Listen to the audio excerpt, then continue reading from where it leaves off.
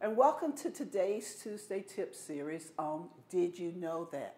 Today we're going to be talking about vouchers.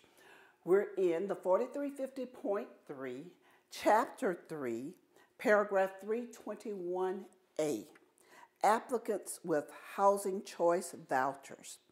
Did you know that in a property where 100% of the units receive assistance under an assistance contract, owners may not admit an applicant with a voucher unless the applicant agrees to give up the voucher prior to occupancy.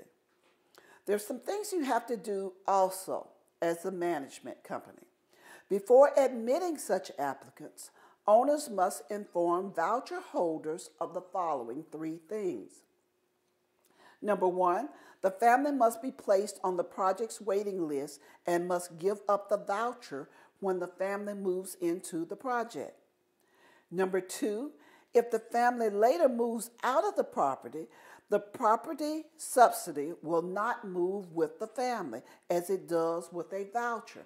And a lot of residents and applicants don't realize that. They think that since they're on Section 8, that they can take their Section 8 wherever.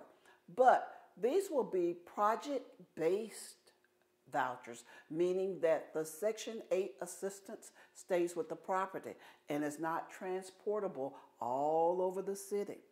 Number three, the family will need to reapply to their local public housing authority to receive another voucher if they give it up. Hint or extra tip.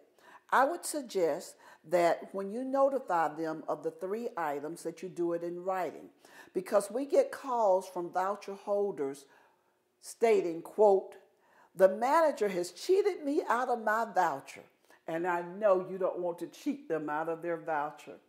That's our tip for today, and we look forward to seeing you on next Tuesday with another Did You Know That tip. Thanks.